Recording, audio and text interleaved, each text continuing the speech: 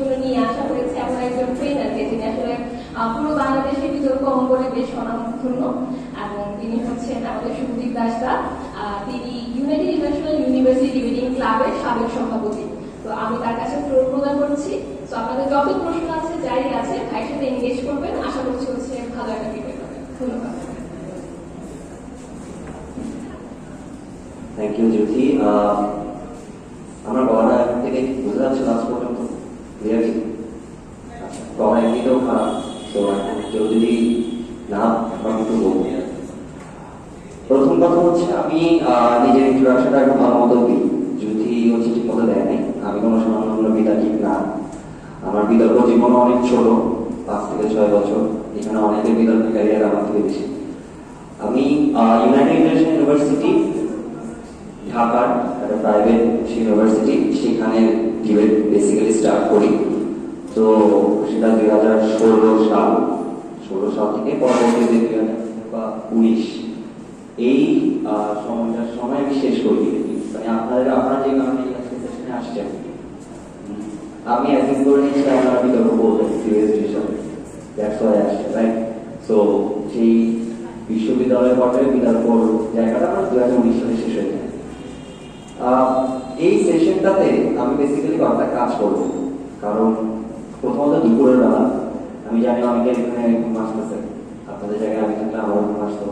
স্বাভাবিক দুপুরবেলা এই নতুন বছরের শুরুতে কে আসলে বিতর্ক সেশন করতে চায় তো সেশনের মাঝখানে আমি কয়েকটা জিনিস একটা স্লোগান যেটা আমি অফিস থেকে শিখছি। সেটা আমি বলব, আপনারা আমার সাথে রিপিট করবেন। এবং এটা সেশনের মাঝখানে মাঝখানে হবে। আমি যখনই দেখব, আমার আসলে বলার কিছু বুঝতে পারছি না। কিন্তু আপনারা আমাদেরকে তাকায় আছেন।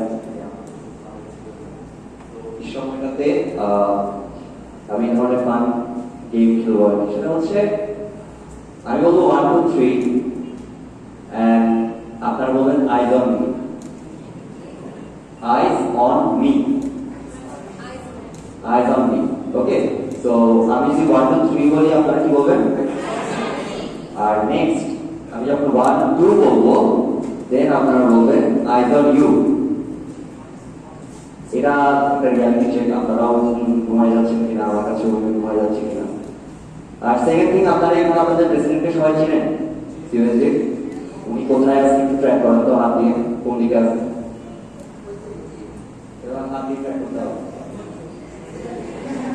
ওকে আর জেনারেল সেক্রেটারি আসেন। তো তো সেশনটা বিতর্কের প্লিজ মেকিং এবং আর্গুমেন্টেশন নিয়ে হবে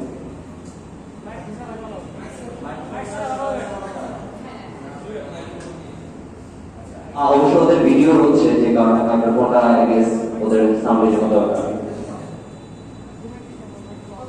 ওকে ঠিক আছে সো কেস মেকিং এন্ড আর্গুমেন্টেশনের আগে আমি আপনাদের একটু অবস্থানটা জানতে চাচ্ছিলাম। আপনারা এতদিন পর্যন্ত কি কি বিতর্ক কি কি শিখছেন স্ট্রাকচার আমি যতটুকু জানি আপনারা এশিয়ান পার্লামেন্টের ডিবেট ব্রিটিশ পার্লামেন্টে বা ইংলিশ ডিবেট বা বাংলা ডিবেট যেটাই বলি, ওদের স্ট্রাকচার প্রধানমন্ত্রী কে হয়, উপনেতার কাজ কি হয়, বিরোধী দলীয় নেতার কি কাজ, সরকার দলীয় নেতার কি কাজ, এগুলো সম্পর্কে আপনাদের মোটামুটি আইডিয়া থাকা উচিত। এমন কেউ কি আছে এখানে? যার, আমি এতক্ষণ ধরে গত পাঁচ সেকেন্ডে যেটা বললাম সেটা কিছুই বুঝেন নাই। একদম নতুন স্ট্রাকচারালি প্রধানমন্ত্রী কি করে বা বিরোধী নেতা তাদেরকে বলে। আচ্ছা আপনি একদম নতুন না। ওকে সমস্যা আমার এই সেশনটার সাথে স্ট্রাকচারের কোনো আসলে লিঙ্ক আপ নাই। এটা হচ্ছে একটা কে, একটা বিতর্কের মোশন বা প্রস্তাব পাওয়ার পর আপনি পক্ষে থাকেন অথবা বিপক্ষে থাকেন। আপনার কিছু একটা তো বলতে হবে। আমরা একটা কেস এটাকে আমরা কেস বলি। আপনি যেই প্রস্তাবটা নিয়ে আপনি ডিফেন্ড করবেন একটু পরে আমরা স্লাইডে আমার স্লাইডে বেশি কিছু নাই, আমি জাস্ট তিন টাইপ অফ মোশন নিয়ে আপনাদের সাথে আলোচনা করব। যে একটা মোশন থেকে আমি কেস কীভাবে আসলে পাবো কেস বিল্ডিং অনেক প্রকারের হয়। এটা আসলে বিতর্কের খাতিরে একটা ফরম্যাট দেওয়ার জন্য বলে, যে আসলে বিতর্কের কেস আপনারা যদি রিসার্চ পেপার রেডি করা বা এই জিনিসটা কানেক্টেড থাকে, ওখানে দেখবেন একটা থিওরিজ আমরা একটা প্রপোজাল দিই, আমরা একটা লিটারেচার রিভিউ করি, আমরা এভিডেন্স দিই আমাদের। রিসার্চ অ্যানালিস্ট রাইট সো ওই অ্যাসেট থিসিস পেপারটাও কিন্তু একটা case that case you are depending আপনার একাডেমিক বিতর্কের ক্ষেত্রে শুধু এই জিনিসটা আরেকটু ছোট আরেকটু মডিফাই যে আমরা বিতর্কে কোনো একটা কেস দিব বা আমি একটা পক্ষে কথা বলব, সেটার জন্য আমার কয়টা আর্গুমেন্ট দিতে হবে। আমি কি কি স্টোরি আসলে আপ করব? আর্গুমেন্টের মধ্যে এভিডেন্স কি কি থাকবে? এভিডেন্স কি হচ্ছে? তথ্য বা প্রমাণ। এই জিনিসগুলো যেগুলো আমরা সচরাচর বাংলা গ্রামে জানি। তো প্রথমে একটু দেখি এটা একদম বেসিক আর্গুমেন্ট মেকিং এর জন্য আহ, তো গভর্নমেন্ট সেন্টার বিরোধী সাইড একটু রিকাপ যদি করি। গভর্নমেন্ট সাইডে থাকে প্রধানমন্ত্রী। তারপর থাকে মন্ত্রী সরকার দলীয় সাংসদ। দেন থাকে লিডার অফ দ্য অপোজিশন যেটাকে আমরা অপোজিশনের ফার্স্ট স্পিকার বলি অপোজিশনের সেকেন্ড স্পিকার হচ্ছে deputy leader of the opposition যেটা আপনারা ডিবেটে করা শুরু করবেন ডিআরও ডিআরও নামে বলবেন আর লাস্ট হচ্ছে অপোজিশন হুইপ অথবা বিরোধী দলীয় সাংসদ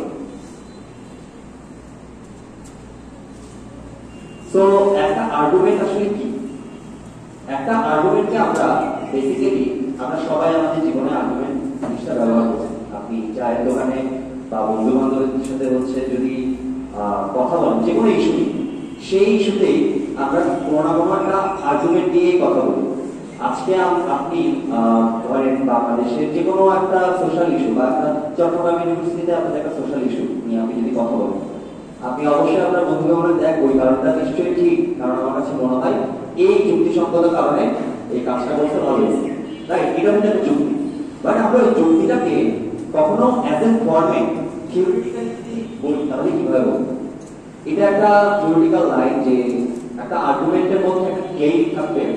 একটা এভিডেন্স থাকবে আর একটা হচ্ছে রিজনিং থাকবে এই তিনটা পার্ট যেটা বাংলায় আমরা বলি কি বলে?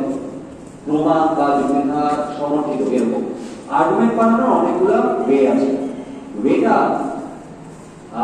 আপনারা আগে কথা বলে রাখি। এই সেশনে আমি যা বলব, তা চিরন্তন সত্য না।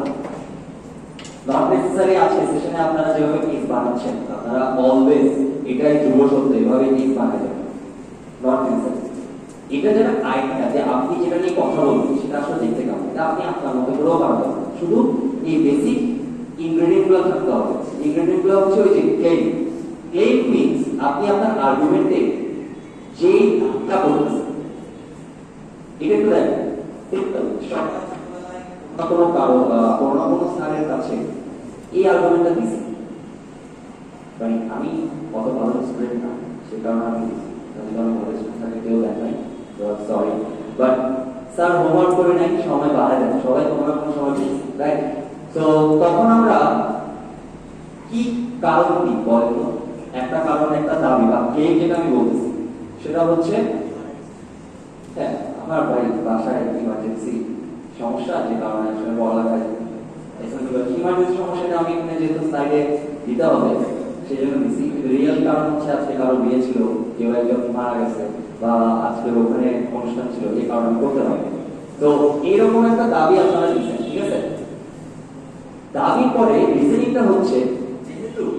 আমার দাবি অনুযায়ী আমি হোমওয়ার্কটা করতে পারি এবং এই সাথে আমি কোনো একটা তথ্য দিলাম। দেখা যে, দেখালাম যে আমাকে যদি এক্সপেকশন দেন তাহলে আপনি কোনো শাস্তি পাবো না পরবর্তীতে করব। সো আর্গুমেন্ট বেসিক্যালি যে কোনো আর্গুমেন্ট বেসিক এটাই। আপনি একটা ক্লেম করবেন রিজনিং দিবেন, একটা এভিডেন্স দিবেন। যে এভিডেন্সটা আপনার ডিজাইন বা ক্লেমকে সাপোর্ট দিবে। তো দেখেন, আমার এইখানে ক্লেম তাহলে কোনটা ছিল? আমার হোমওয়ার্ক অ্যাসাইনমেন্টের জন্য একটা এক্সটেনশন দেওয়া উচিত রাইট নেক্সট এভিডেন্স হিসাবে আমি আপনাদের যে আমার পারিবারিক বা জোরে অবস্থা করছিল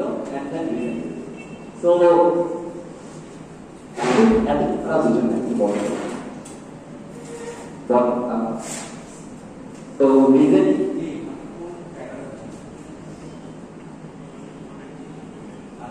সো আর্গুমেন্ট একটা যুক্তি। যুক্তিকে যদি আমরা অ্যাজ এ থিওরিটিক্যালি ব্যবহার করতে চাই, তাহলে আমাদের তিনটা জিনিস থাকা লাগে দাবিটার পরবর্তীতে আমরা ওই দাবিটাকে আমরা তো একটা সংসদের কাছে স্থাপন করতেছি রাইট আমি যদি আজকে পক্ষদল হই, প্রধানমন্ত্রী হই, আমি স্পিকারের কাছে একটা আর্গুমেন্ট দিচ্ছি যে দেখেন, আমার পক্ষের প্রস্তাবটা আমার পক্ষে যাওয়া উচিত। কারণ এই কারণটা আমার জন্য খাটে একটু পরে যখন মৌসুম নিয়ে আলোচনা করব, তখন আপনারা ভালো মতো বুঝবেন যে আর্গুমেন্ট আসলে কথা বলতেছি এই জন্য হয়তো বুঝতে পারতেছি না। তো তিনটা জিনিস কি কি একটু যদি সবাই বলি একটা ক্লেম বা দাবি এভিডেন্স রিজনিং ওকে তো দেখেন বিশ্ববিদ্যালয়ে সকল শিক্ষার্থীদের একই ইউনিফর্ম থাকা উচিত। এটা নিয়ে আপনার কখনো কোনো বিতর্ক দেখছেন বা কখনো হচ্ছে যে কেন আমি একটা স্কুলে যাব, যেখানে আমার একটা ইউনিফর্ম থাকা লাগবে? অথবা এটা স্কুলে না থাকলেও আপনার ভার্সিটিতে উঠে, যদিও ইউনিফর্ম নাই, যদি আপনার আপনাকে আজকে বলতো যেটা ইউনিভার্সিটিতে আপনাদের একটা সার্টেন ছেলেদের একটা মেয়েদের একটা ইউনিফর্ম পরে আসতে হবে রাইট তো আপনাদের মাথায় নিশ্চয়ই একটা একটা কেন আমি পড়ব ইউনিফর্ম আসলে এক্সক্লুসিভিটি রাইট তো আপনি যদি এটার পক্ষে কোনো আর্গুমেন্ট দেন, তাহলে আপনি আর্গুমেন্টটাকেও বেসিক ভাবে দেখেন। আমি ফার্স্টে কেস ক্লেম করতেছি স্কুলে ইউনিফর্ম আসলে বাধ্যতামূলক করা উচিত। যেটা আমার পক্ষের সাথে যায় আমি এটা পক্ষে বিতর্ক করতেছি তো আমার ফার্স্ট স্টেপটা হচ্ছে ইউনিফর্ম থাকা উচিত। কারণ এভিডেন্সটা এখানে দিচ্ছি এই যে কারণ যেটা আমি বললাম, সেটার এক একটা একটা তথ্য দিব, যে তার তথ্য হতে পারে, আপনার একটা রিয়েল সিনারিও হতে পারে। দেন একটা রিজনিং দিব যে যখন সমস্ত শিক্ষার্থী এক তখন এটি পোশাক সম্পর্কিত ভিত্তিক দুর্বল এবং শিক্ষার্থীদের কি কাপড় পরছে তা পরবর্তীতে শিক্ষার্থীকে মনোনিবেশ করতে হবে। এই রিজনিংটা আসলে কি কিসের জন্য দিলাম? আপনারা নিয়ে চিন্তা করেন, আপনি যখন একটা স্কুলের ইউনিফর্ম সহজনে রাখেন এখানে ধনীকে গরিবকে আপনার ক্লাস ডিভিশন জিনিসটা না থাকার জন্যই ইউনিফর্ম সিস্টেমটা চালু হয়েছে। স্কুলে রাইট তো আপনি ওইটাকে দেখাচ্ছেন, যেহেতু আপনি একই ইউনিফর্মে থাকতেছেন, আপনার এখানে ওই অর্থনৈতিক বৈষম্যের ব্যাপারটা কখনো তুলে আসতে পারতেছেন না। যদি ইউনিফর্ম না থাকতো, আজকে একজন খুব উচ্চ মানে দামি জামা কাপড় পরে আসতো, যেটা ভার্সিটিতে আমরা পাই স্কুলের ক্ষেত্রে ডিফারেন্ট তো একটা সোশ্যাল ক্লাস ডিফারেন্স তৈরি করে দেয়। তো এই ডিফারেন্সটা না করে দেওয়ার জন্য আপনি আপনার পক্ষে বলতেছেন, দেখেন, স্কুলে ইউনিফর্ম বাধ্যতামূলক করা উচিত কারণ এটা শিক্ষার্থীকে আর অর্থনৈতিক বৈষম্যটা ভুলে গিয়ে শুধুমাত্র শিক্ষার ক্ষেত্রে মনোনিবেশ করতে সাহায্য করে। তো অ্যাজ এ হোল এটা একটা আর্গুমেন্ট কিন্তু আপনি আর্গুমেন্টকে তিনটে স্তরে ভাঙছেন প্রথমে বলছেন, এটা উচিত। কেন উচিত? এরকম আমার কাছে একটা তথ্য আছে। তথ্যটা এবং উচিত এই দুটাকে আপনি যদি ম্যাথের মতো করে যোগ করেন। তাহলে আপনি একটা পাবেন রিজন যে রিজনটা আপনি দেখেন দেখেন এটা তো একটা শিক্ষার্থী আমার শিক্ষা ডেভেলপমেন্ট হচ্ছে শিক্ষার্থী ডেভেলপমেন্ট হচ্ছে। তো আমার এটার জন্য বেটার একটা আউটকাম আসছে জিনিসটাকে বুঝতে পারছি? সো এটা নট নেসেসারি সব আর্গুমেন্ট একই রকম হবে। আর্গুমেন্টের অনেক ধরনের লেয়ার আছে। কজ এন্ড আর্গুমেন্ট এটা আরেকটু অ্যাডভান্স আর্গুমেন্টেশনের যখন আপনাদের সময় আসবে তখন আপনারা দেখবেন। আর্গুমেন্টকেও অনেকভাবে আলোচনা করা যায় কোনটা এন্ড এফেক্ট যে এইটা কারণ আজকে বৈশ্বিকভাবে একটা অর্থনৈতিক মন্দা তৈরি হলে বাংলাদেশে এটা প্রভাব পড়ে রাইট তো আপনি কোনো একটা অর্থনৈতিক পলিসি যখন বিতর্ক করেন, বৈশ্বিক অর্থনীতি, সেই বৈশ্বিক অর্থনীতির পলিসিতে এফেক্ট বাংলাদেশে পড়তে পারে। এই আর্গুমেন্টটা আপনি যে দিচ্ছেন, এটাকে বলে কজ এন্ড এফেক্ট আর্গুমেন্ট এরকম একটা ইমোশনাল অ্যাপিলিং থাকে যেখানে আমরা আবেগ দিয়ে আর্গুমেন্ট দিই ধরেন দেশপ্রেম বা জাতীয়তাবাদের যে আর্গুমেন্টগুলো, যে বিতর্কগুলো এগুলো অনেক সাবজেক্টিভ হয়। এগুলোকে আপনি মাপতে পারবেন না। আজকে আপনি মাপতে পারবেন না আমার মধ্যে জাতীয়তাবোধ কতটুকু আছে। আপনার নিজের মধ্যে কতটুকু জাতীয়তাবোধ আছে আপনি মাপতে পারবেন ধর্ম অনুভূতিতে আঘাত, এটা কিন্তু মাপা যায় না যে তার কতটুকু, কীরকম এটাকে বলে আমরা সাবজেক্টিভ তো আপনি যখন একটা বিতর্কে এই ধরনের আবেগ আমি যদি আমি যদি সহজ বলে আবেগ দিয়ে আর্গুমেন্ট দিবেন, তখন আপনার ইমোশনাল অ্যাপেল এই ধরনের রিজনিং দিতে হবে। তো এইটা এটা গেল আপনাদের আর্গুমেন্টের একদম বেসিক জিনিস। বাট কেসের সাথে আর্গুমেন্ট কীভাবে লিঙ্ক আপ করে, এটা একটু আসছি আর এটা আপনাদের খুব একটা ইম্পর্টেন্ট কিছু না। এটা এটা দেখানোর জন্য যে আমি যখন একটা বিতর্কের মোশন পাই তখন আমি আসলে কীভাবে সাজাই আমার বিতর্কের মানে আমি কি বলব একটা কেস কীভাবে বলব? তো সংজ্ঞায়ন করতে হয়। এটা কি আপনারা জানেন? সংজ্ঞায়ন কে করে? কে বলতে পারবেন কোন দলের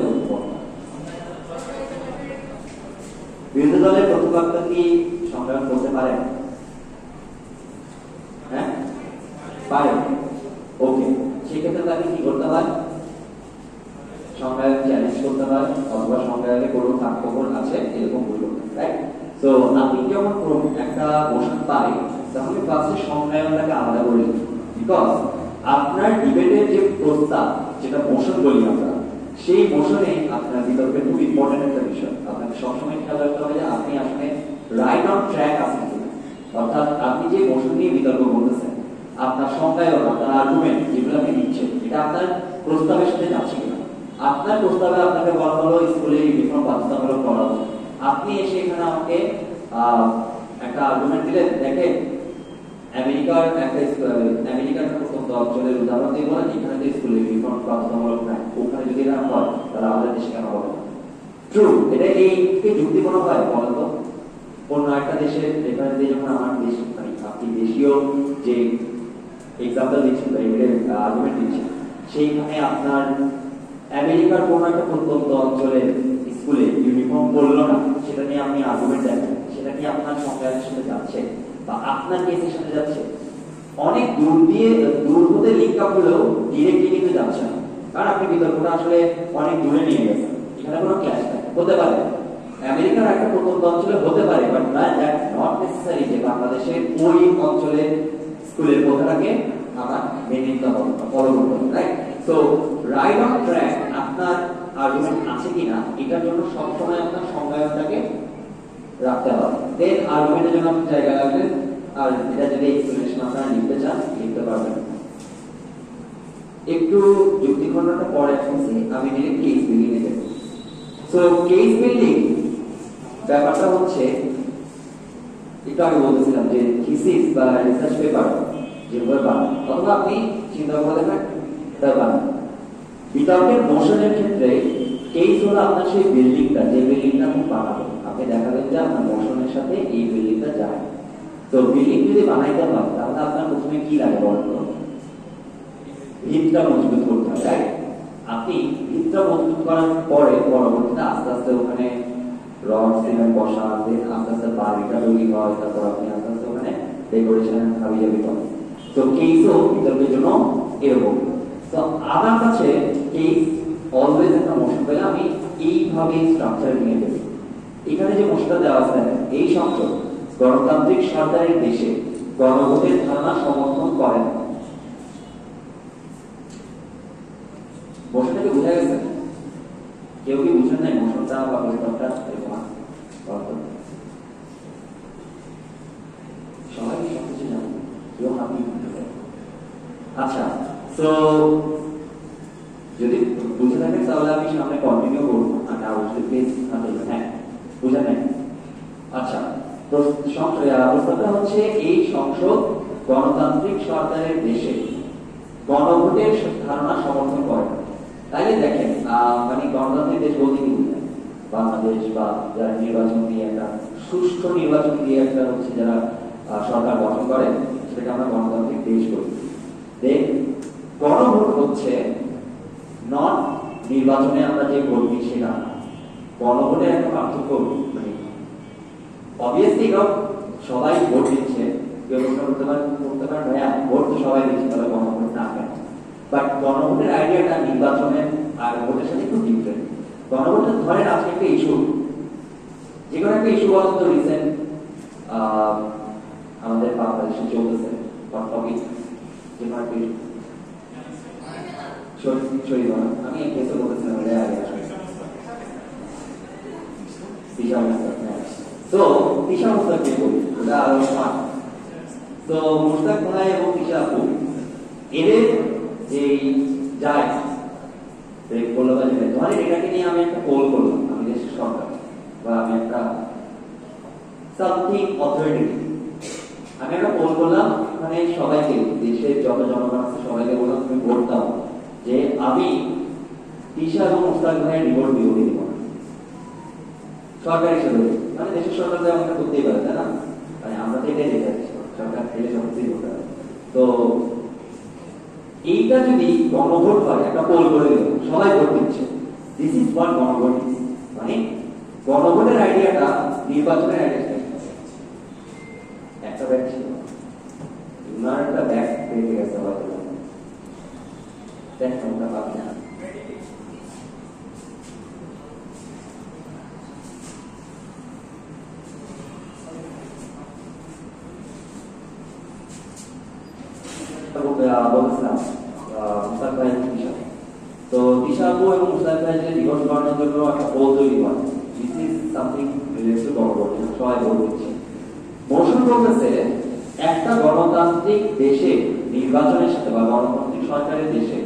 গণভোটের ধারণা সমর্থন করে না মানে আমি যদি পক্ষে হই, আমি দেখাবো, যেহেতু আমি একটা গণতান্ত্রিক দেশে বসবাস করি, এই গণতান্ত্রিক দেশের সামথিং এর সাথে গণভোটের যে আইডিয়া সেটা যায় না।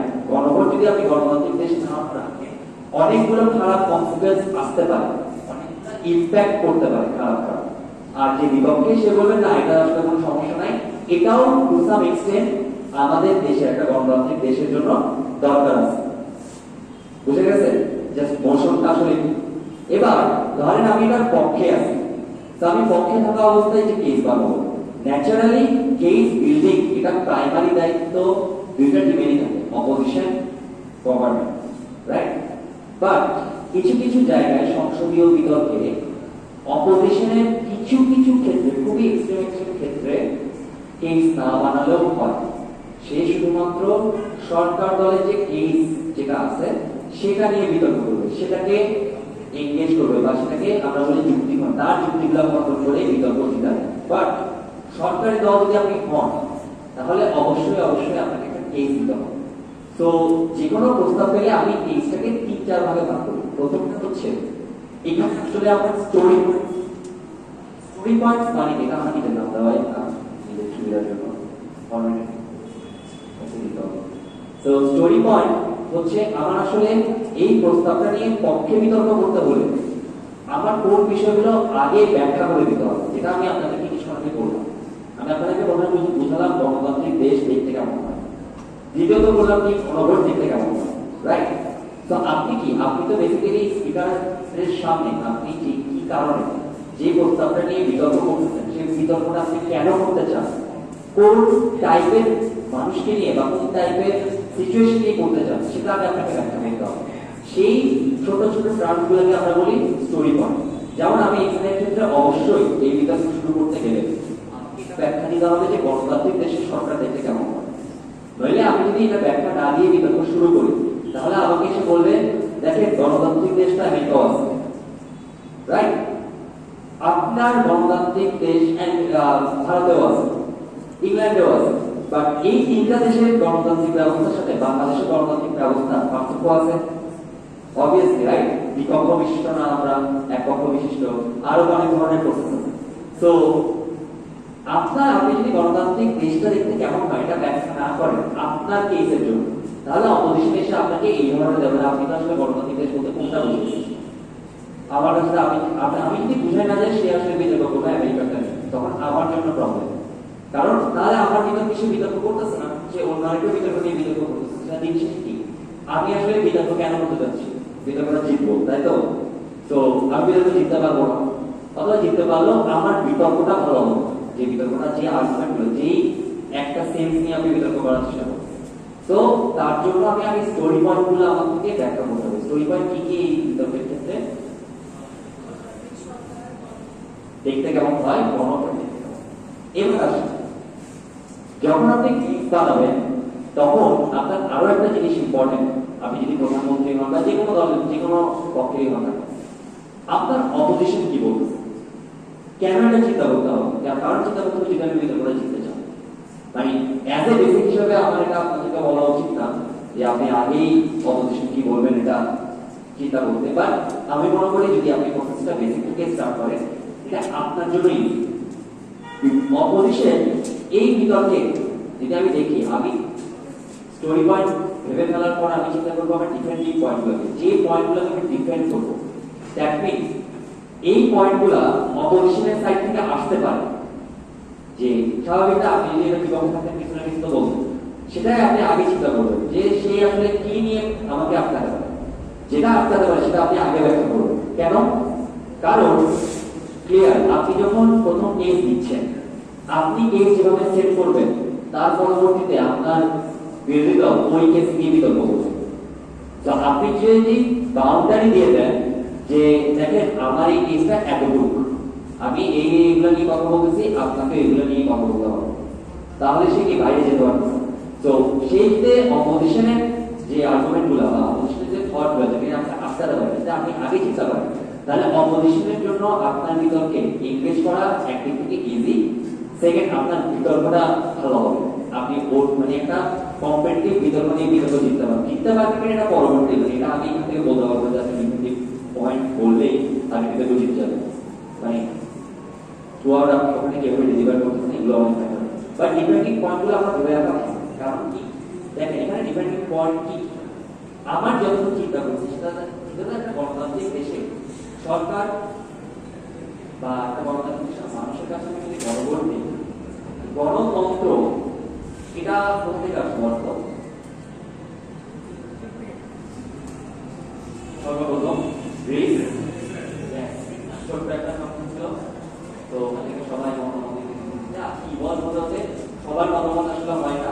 কিন্তু গণতন্ত্রের বেসিক থিওরি হচ্ছে আপনার সবার পার্টিসিপেশন থাকতে হবে রাইট তো অপোজিশন এই বিতর্কে প্রথমে এসে আপনাকে বলবেন, দেখেন, আপনি তো গণতান্ত্রিক দেশ বলতেছেন আপনার গণতান্ত্রিক দেশে তাহলে সবার মতামতের গ্রহণযোগ্যতা দিতে হবে। গ্রহণযোগ্যতা দিতে চাইলে আপনি গণভোট কেন দিবেন? গণভোট মানে হচ্ছে সবাই ওটা পার্টিসিপেট করতে হবে রাইট অপোজিশন করে এটাই তো বলছি। তাহলে আপনি, আগে যখন আপনি পক্ষে বিতর্ক করতেছেন, আপনি দেখেন দেখেন, আমি গণভোট দেখতে এরকম হয় গণতান্ত্রিকদের এরকম হয়, এইখানে কিছু কথা আসতে পারে। এই বিষয়টা আমরা এভাবে বলি। এইখানে মান স্পিকার বিরোধী দল থেকে অনেকগুলো কথা আসতে পারে যে কথাগুলো আমরা একটু আগে ব্যাখ্যা করব। কথা নাম্বার এক, যে সবার মতামতের গ্রহণযোগ্যতা থাকতে হবে, যে কারণে গণতান্ত্রিক দেশে গণভোট থাকা প্রয়োজন। রাইট এটা হচ্ছে অপোজিশন বলবে। তো আপনি এখানে কীভাবে ব্যাখ্যা করবেন? আপনি ব্যাখ্যা করবেন আপনার অনুযায়ী। আমি যদি থাকি, আমি এখানে বিতর্কে ব্যাখ্যা করব সবার মতামতের গ্রহণযোগ্যতা এটা গণতন্ত্রের থিওরিটিক্যাল ডেফিনিশন আপনি কারণ, কিন্তু আপনি কোনো জায়গায় 99% মানুষের পার্টিসিপেশন একটা বড় হয়েছে গণতন্ত্র ইভলভ হতে হতে এমন জায়গায় চলে আসছে যে সিক্সটি ফর্টি অর্থাৎ মেজরিটি জিতে। মেজরিটি যেখানে জিতে, সেখানে হয় মেজরিটি জিতে fifty one percent forty nine percent fifty one percent যারা পাইল, যে দল পাইল, যাদের আইডিওলজি পাইল, তারা জিতছে রাইট পার্টিকুলার মতামতের ক্ষেত্রে বাকি যে ফর্টি নাইন পার্সেন্ট আছে, তাদের মতামত কি জিতলো জিতে রাইট সেটা কি গণতন্ত্র মানে আমরা যেটা গ্রিসের গণতন্ত্র, সবার মতামতের প্রাধান্য দেওয়া হতো, এটা কি সম্ভব? না।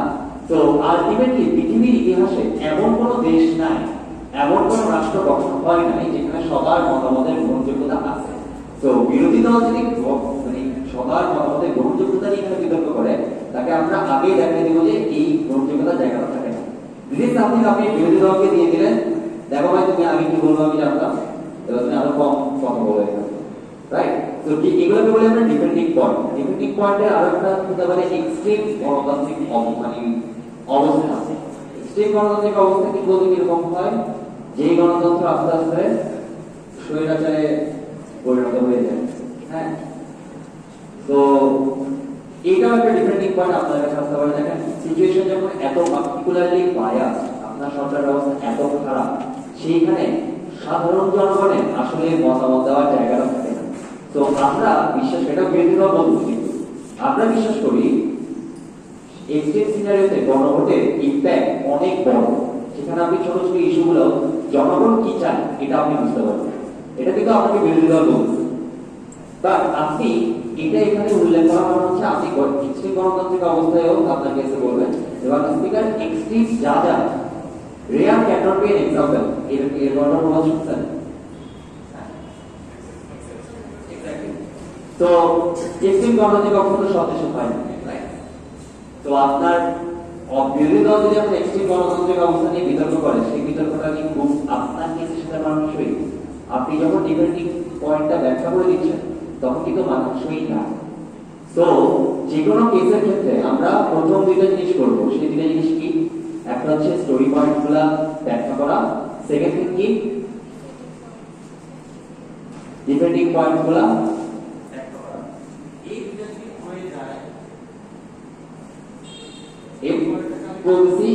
বেস লাইন বেস লাইন জিনিসটা অনেকটা ভিত্তির মতো।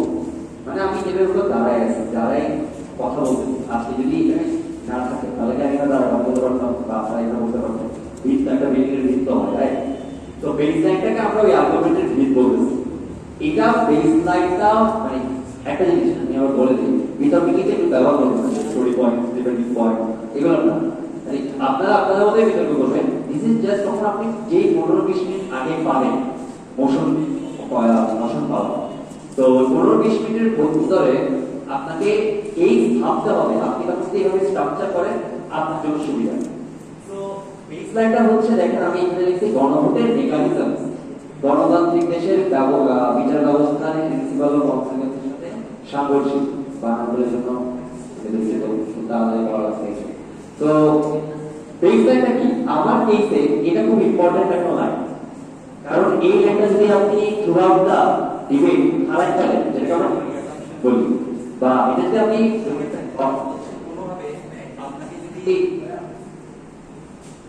এই মানে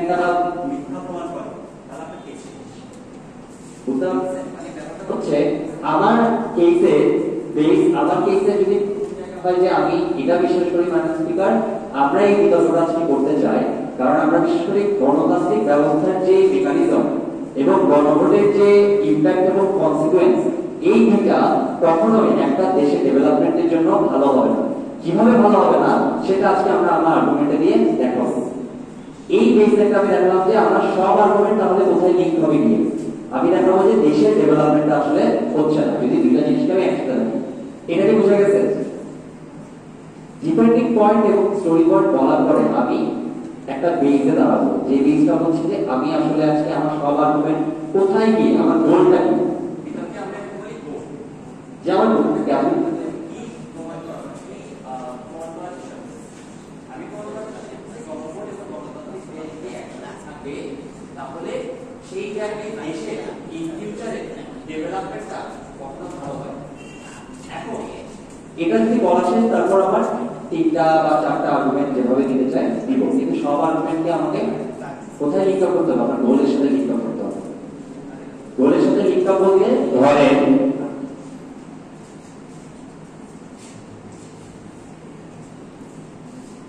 হ্যালো ওকে তো যদি একটা আর্গুমেন্ট দেই যে গণভোটের মেকানিজমের সাথে গণতান্ত্রিক দেশের বিচার ব্যবস্থার প্রিন্সিপাল এবং কনসিকুয়েন্স কেন সাংঘর্ষিক প্রথম আর্গুমেন্টটা আমার হতে পারে যে একটা দেশে ফুল মানুষ কখনো এডুকেশনালি বা ফুললি কনসাস থাকে যে আপনার একটা ইস্যুতে সে আসলে ভোট দিতে পারে। ধরেন আজকে একটা সামরিক বা পররাষ্ট্র একটা ইস্যুতে আপনি যদি গণভোট করেন, আপনার কি মনে হয় এই দেশে হান্ড্রেড পার্সেন্টের মধ্যে এইটি পার্সেন্ট সম্পর্কে জানে? জানে না রাইট তো যদি না জানে, তখন তার এই- মুষ্টিবদ্ধ মানুষের ডিসিশনের উপর ভিত্তি করে আপনি একটা দেশীয় ডিসিশন নিতে পারেন। দেশীয় ডিসিশন নিতে না পারলে কেন? কারণ ওই দেশীয় ডিসিশনটা বাকি আপনার যে জনগণ আছে, তার জন্য হ্যাম্পার করতে পারে। ব্যাপারটা হলো, আপনার গণভোটের বিভিন্ন ইস্যু মানুষের যেহেতু ফুলি এডুকেশনাল ওই নলেজটা নাই। আপনি যদি গণভোট করতে দেন, তাহলে আপনার গণতান্ত্রিক ব্যবস্থা যে প্রসেসগুলো আছে, সেই প্রসেস কি ক্ষতি করতেছে। ক্ষতি করতেছে তো রাইট কারণ আপনি যদি এখন পররাষ্ট্র জীবন একটা জায়গায় গণভোটে করতে দেন, তো আপনার দেশের প্রসেসের সাথে ওটা কি কোথাও ক্ল্যাশ হবে রাইট কারণ ওখানে উপরে যারা বসে আছে তারা জানে যে পররাষ্ট্র নীতির জন্য আমার এই পলিসি নেব কিন্তু আমি এখানে এসে দাঁড়িয়ে সেটা বলতে পারব আমার কাছে মনে হবে, না, আজকে ইন্ডিয়া ওখান থেকে কেন ইসলামাবাদ বন্ধ করে দিচ্ছে আমি ওখানে যুদ্ধ করে দিই। হবে আপনি যখন করেন, আপনি ফ্যামিলি পার্সন মানুষ দেখবেন, এটাই বলবেন যুদ্ধ করা উচিত বা এটা কনসিকোয়েন্সটা কোথায় গিয়ে পড়ে, এটা কিন্তু এই মানুষ যারা বলছে তারা জানে। জানে কি? ওই জায়গায় বসে যে পড়াশোনা মন্ত্রী আছে বা ওখানে যারা কাজ করছে সচিবরা কাজ করছে তারা। তো তাহলে দেখেন, আমার বেসলাইন কি ছিল? আমি বলতেছিলাম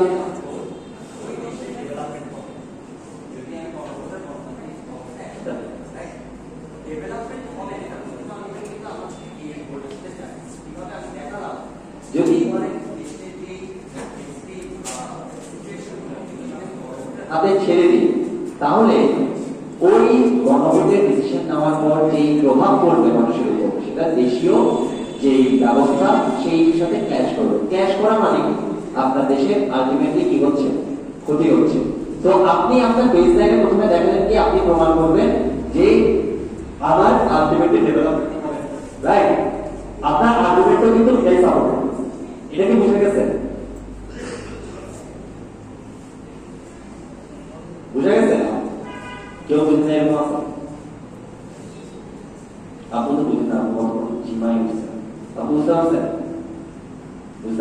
আচ্ছা আরেকবার রিক্যাপ করুন না বুঝলে আপনি যদি আমার মানে এই পুরো সেটআপটা আপনার না বুঝেন সেটা বলতে পারেন আমি আরেকটু চেষ্টা করব ইজি করে বোঝানো একটা প্রস্তাব পাওয়ার পর আমি অ্যাজ এ সরকার দল হিসেবে চিন্তা করি সরকার আমি কে দিচ্ছি তখন আমি কি কি দিচ্ছি আমি একটা একটা বা দুইটা যতগুলো ব্যাখ্যা করার জায়গা সেটা ব্যাখ্যা করতেছি সেটাকে বলতেছি কি স্টোরি পয়েন্ট হ্যাঁ সেকেন্ড থিং ডিফেন্ডিং পয়েন্ট যেগুলো আমি ডিফেন্ড করব যেগুলো অপোজিশন আমাকে বলতে পারে সেগুলো ডিফেন্ড করব কীভাবে আমি ওগুলোকে এমন ভাবে ব্যাখ্যা দিব যেন এটা আমার কেসের সাথেই সাপোর্ট করে কেসকে সাপোর্ট করে দেন গেল বেসলাইন বা যেই গোল বেসলাইন বাদ দেন আপনার চিন্তা করুন গোল আপনার ভিতরে কি আজকে গোল কি আপনি কি প্রমাণ করতে যাচ্ছেন আমি এখানে প্রমাণ করতে যাচ্ছি, যদি গণভোট এবং গণতান্ত্রিক একসাথে একই দেশের মধ্যে থাকে। ইন ফিউচার সেই দেশের ডেভেলপমেন্টে অনেক হ্যাম্পার হবে। এটা আমার গোল আজকে বিতর্কে আমি প্রমাণ করব থ্রু আউট দা বিতর্ক। এবং ওই গোলটাকে সাপোর্ট করার জন্য আমি কি দিচ্ছি? তিনটা বা চারটা আর্গুমেন্ট দিচ্ছি। এবার আমরা আর্গুমেন্ট একটু আগে সেশনে কি করছিলাম একটা আর্গুমেন্ট কতভাবে বিল হয়? আর্গুমেন্টের কি কি থাকে? ক্লেইম এভিডেন্স রিজনিং তার মানে এখানে আর্গুমেন্ট ওয়ানের জন্য আপনি যখন আর্গুমেন্ট ওয়ান বানাবেন এক নাম্বার আর্গুমেন্টটা তৈরি করবেন তখন আপনার এক নাম্বার আর্গুমেন্টে ক্লেইম থাকবে, একটা এভিডেন্স থাকবে রিজনিং থাকবে রাইট এভাবে তিনটার জন্য সেম কিন্তু প্রত্যেকটা আর্গুমেন্ট আপনি কীভাবে, কিসে সাপোর্ট করবেন আপনার গোলকে সাপোর্ট করবেন ওই যে ডেভেলপমেন্ট আমার হবে না, বা আমার ক্ষতি হচ্ছে দেশের জন্য, দেশের ওভারঅল ক্ষতি হচ্ছে। তো আপনি প্রথমে story point depending point baseline করে কি করলেন? আপনি আগে আপনার নিজের জন্য আঁকলেন যে আমি এটা আমার বাউন্ডারি আমি যে আর্গুমেন্টে এখন চিন্তা করব, এটা অবশ্যই আমাকে গোলকে সাপোর্ট করতে হবে। আপনি এখন এখানে চিন্তা করতে পারবেন না, ভাই, আমেরিকায় কি হচ্ছে? আমেরিকা বা সিম্পল ভোটে অনেক কারচুপি হয়, নির্বাচনে অনেক কারচুপি হয়, ঠিক আছে? এটা কি এই আর্গুমেন্টের সাথে যায়, এই গোলের সাথে যায়? আপনি নির্বাচনে কারচুপি হয়, মানলাম। নির্বাচনে যদি কারচুপি না হয়, তাতেও তাও দুইটা কারণ আপনি গণভোট রেখে দিচ্ছেন গণতান্ত্রিক অবস্থা রেখে দিচ্ছেন তো দুইটা যদি থাকে আপনার কিন্তু গোলকে সাপোর্ট করতেছে না। তো এই আর্গুমেন্টটা আপনার জন্য কি? অত ইম্পর্টেন্ট না আপনি দিতে পারেন বাট আপনার বিতর্কের কেসের সাথে যাবেন এখন আপনি কেস নট জন্য এইরকম বেসলাইনে সেট করতে হবে। ডিফারেন্ট বেসলাইন সেট করতে পারেন। এটা গেল একটা সোশ্যাল ইস্যুতে ধরেন কাপড় এখানে অনেক কিছু জানতে হয়, গণতান্ত্রিক দেশের সরকার কেমন দেখতে হয়। এটা যদি আমি, আমাকে যদি বলেন আমি সরকারি দল, আমি বাংলাদেশের বর্তমান সিনারিও দেবো যে কীভাবে এখানে নির্বাচন হয়। সেই নির্বাচনে কারা আসে? এসে তারা জনগণের সাথে খেয়াল রাখবেন এই দেশটা, এই গণতান্ত্রিক দেশে আচ্ছা মার্কার পাওয়া যাবে? মানে কি কি আছে? মার্কার? আচ্ছা যেটা বলতেছি এই গণতান্ত্রিক সরকারের দেশে আপনার স্টেক হোল্ডার ছিলেন? কেউ কি আছেন স্টেক হোল্ডার কি জিনিস বুঝেন? বুঝেন? স্টেক হোল্ডার আমার এখানে এই প্রস্তাবটা সবার প্রথমে করবে বলেন তো? এই প্রস্তাবটাকে যদি বিতর্ক করি, এই প্রস্তাবের অডিয়েন্স কে? কাদের জন্য জনগণ এই বিতর্কের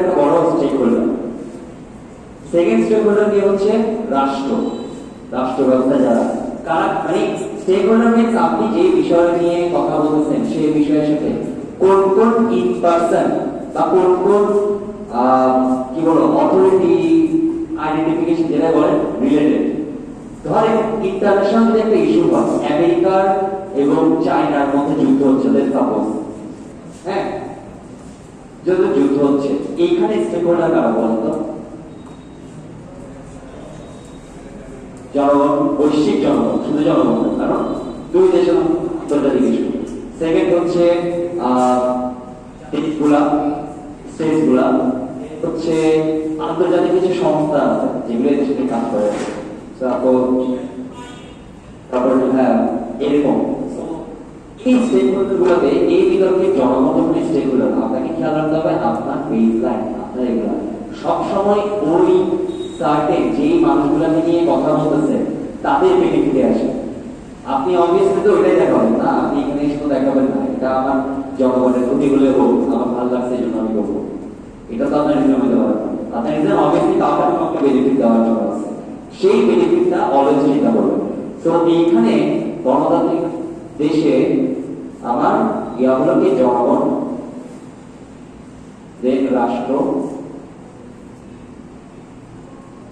এরপর আরও কানেক্টেড আপনাদের করতে তো দেখেন, আপনার, আমার এই গণভোটের মেকানিজম গণতান্ত্রিক দেশের বিচার ব্যবস্থার প্রিন্সিপাল এবং কনসিকুয়েন্সের সাথে সাংঘর্ষিক দিস আলটিমেটলি লিডস টু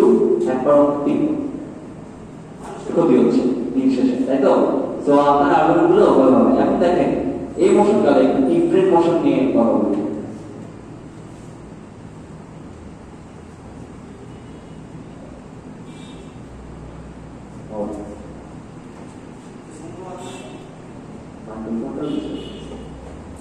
আহ, এই মোশনটাকে পড়া যাচ্ছে বুঝেন না এরকম আছে কিছুই বুঝেন নাই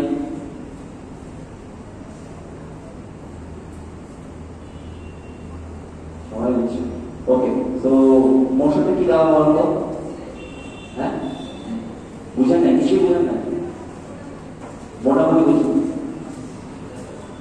দেখি একই জিনিস একই মোশন ডিফারেন্ট মোশনের কথা বলব যেটা এখন বলে আসছে ওইটাই জাস্ট খেয়াল রাখবেন আমরা একটা বিতর্কের মোশনে একটা কেস বানাবো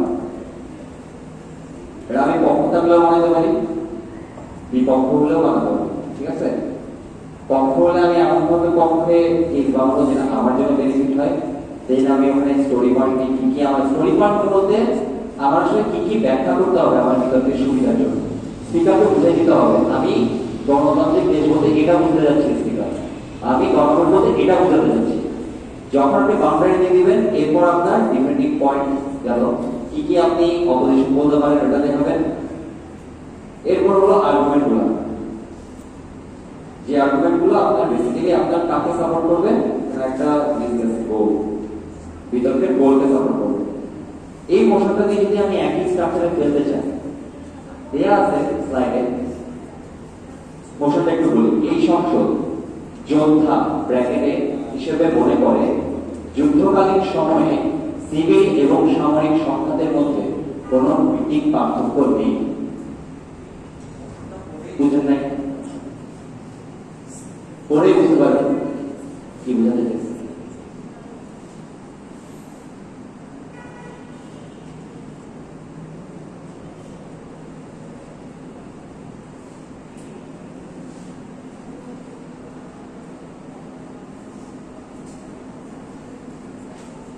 হচ্ছে বুঝতে চাইছি বেসিক্যালি হ্যাঁ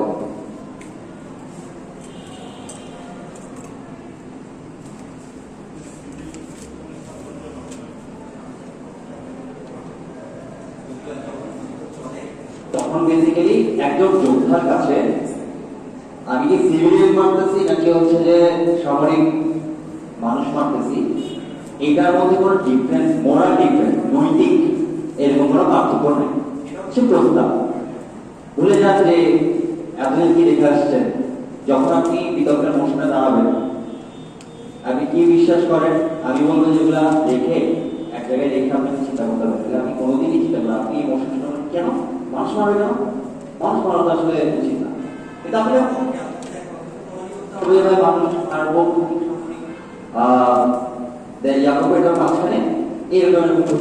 দেখাতেই হবে। বাট আপনি যদি চিন্তা করেন কীভাবে তাহলে সমস্যা? তো এটা ইজি হয় যদি আপনি একটা স্ট্রাকচার ফলো করেন, যে আমার আসলে এখানে কি কি ব্যাখ্যা করা লাগছে কীভাবে ব্যাখ্যা করা লাগছে সো তোমার এখানে স্টোরি পয়েন্ট কি একটা যোদ্ধা দেখে কি বলব তোকে আরেকটা নাম বলে। এটা বলে actor motion actor motion means আপনি এখানে কিন্তু সংসদীয় বিতর্ক এটা জানেন না আমরা সংসদ স্থাপন করতে পারি। আমাদের মন মতো এটা কি জানেন? ধরেন একটা সংসদ একটু আগে যে মোশনটা আসলে, এই সংসদ গণতান্ত্রিক সরকারের দেশে গণভোটের ধারণা সমর্থন করে না। এই একটা সংসদ বলতে আমেরিকা সংসদ বুঝাইতে পারি আমি চাই? এটা আমার বিতর্কে প্রথমে আমার বলে দিতে হবে। এটা কি আপনারা জানতেন?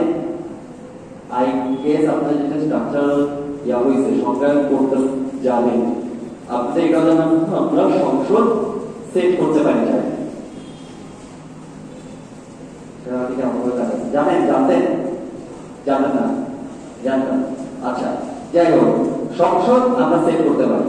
বা এর পরের যেটা যোদ্ধা ওই মোশনে আমি চাইলে সংসদ সেট করতে পারব না। কারণ আমাকে এখানে বলে দিছে আমার সংসদটা কে হবে? সেটা কি? যোদ্ধা আমি একদম যোদ্ধার মতো করে চিন্তা করব। এই বিতর্কটা করার জন্য আমি পরে থাকি, বা পক্ষে থাকি, বা বিপক্ষে থাকি। আমাকে একজন যোদ্ধার জায়গায় দাঁড়িয়ে বিতর্ক করতে হবে। মানে আপনি একটা যোদ্ধা আসলে কীরকম হয়, কি মেন্টালিটির হয়, সে কি চিন্তা করে তার গোল কি কি? এগুলো আপনার জানা থাকতে হবে। আপনি তাকে করুন তো দেখেন, এই বিতর্কটা করতে গেলে তাহলে আমার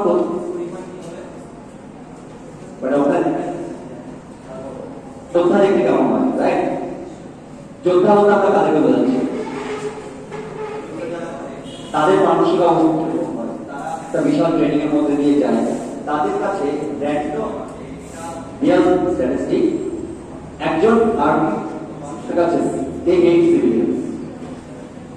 তাদের ব্রেন মানে বলব না। ট্রেনিং প্রসেসটা এমন ভাবে হয় যুদ্ধের জন্য যে দে হেড সিভিলিয়ান প্রাইমারি তারা বড় একটা বা একটা আহ, কি বলে মিলিটারিজম তাদের মধ্যে থাকে তো একটা যোদ্ধার মানসিক অবস্থায় আছে তো সে যখন যুদ্ধ করে আরেকটা ইম্পর্টেন্ট ইস্যু আছে এই সময়টা দেখেন যুদ্ধ- যুদ্ধকালীন সময় তো যুদ্ধকালীন সময় একটা যোদ্ধার মাথায় কি চলতে থাকে, এটাও কিন্তু আপনার একটা ব্যাখ্যা করতে হবে। কিন্তু আপনি মোশনটা নিয়ে করতে পারবেন না। কেন করতে পারবেন না? কারণ এই এই সার্টেন টাইমে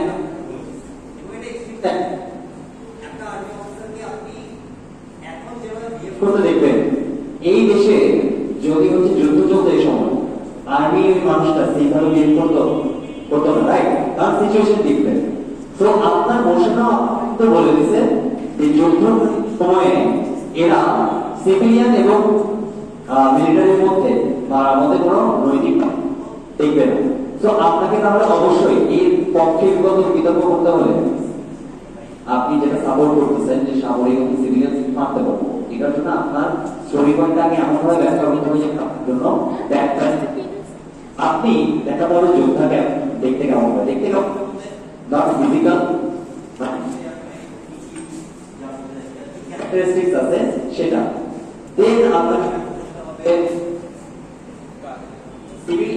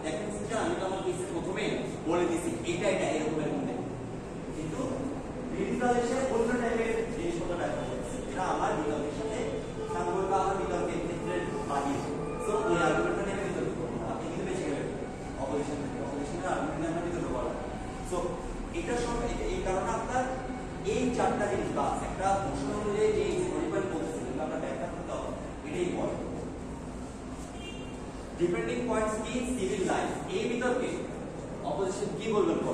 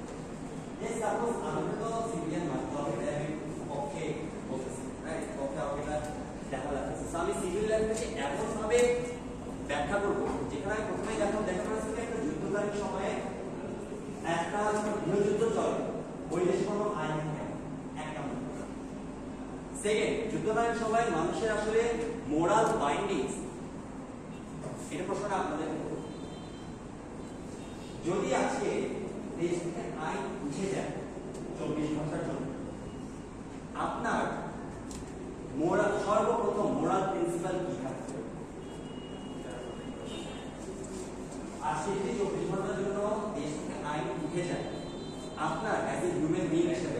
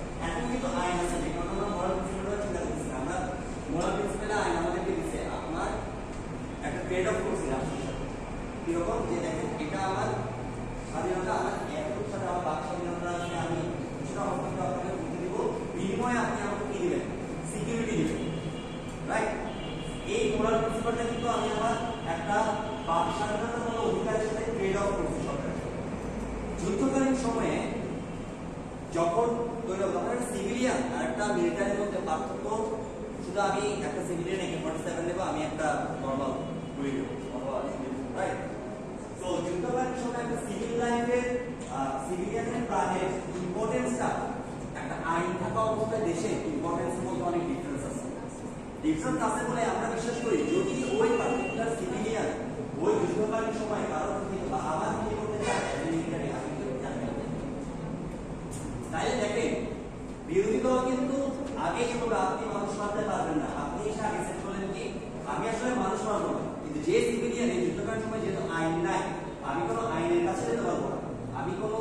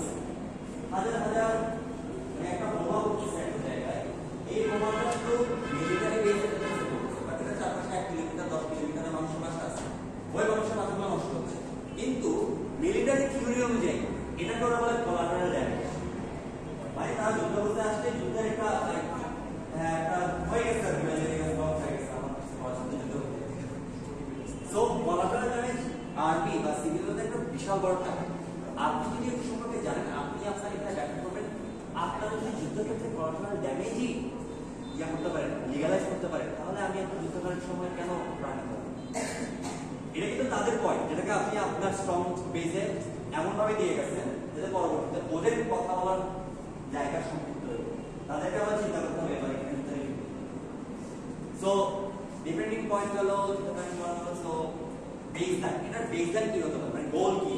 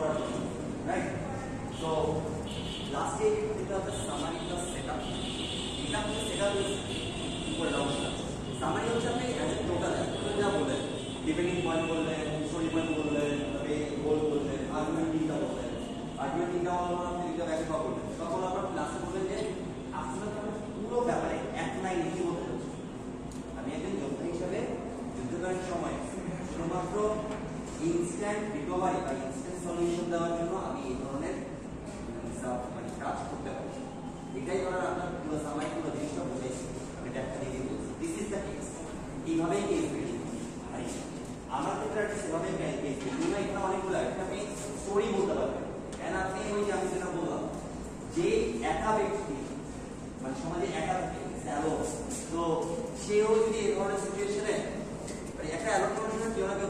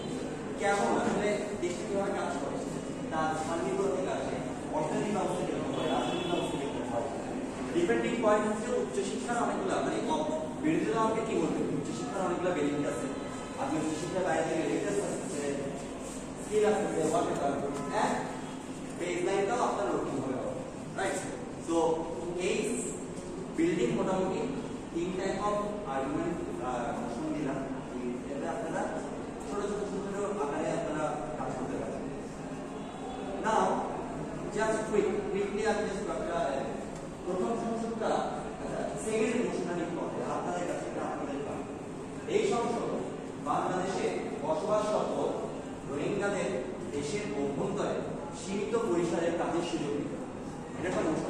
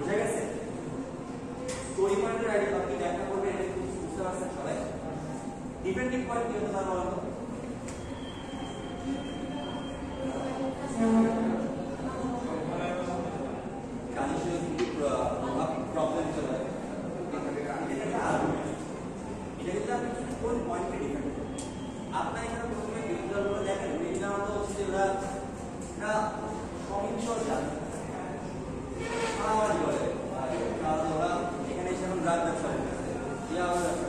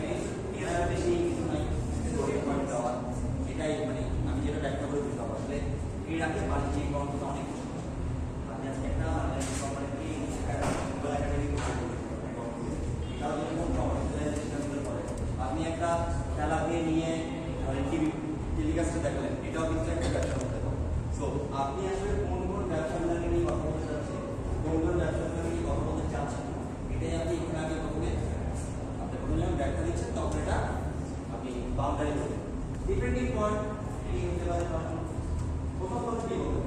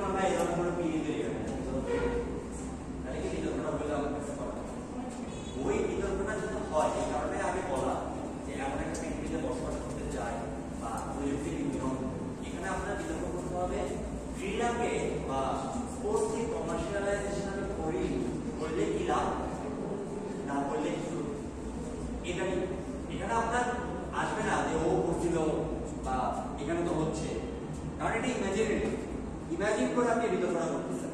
তো আপনার এখানে অনেক কিছু পৃথিবীটা দেখতে কীরকম হবে পৃথিবীতে খেলা যদি আমি না করি, তাহলে ভেয়া ভেয়া হবে।